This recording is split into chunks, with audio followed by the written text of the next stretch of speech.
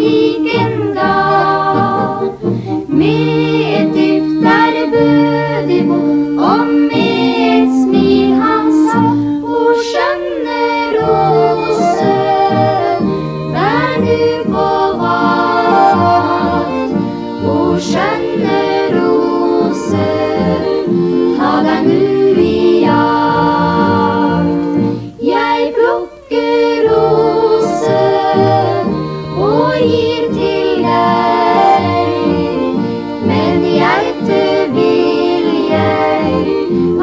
all ye.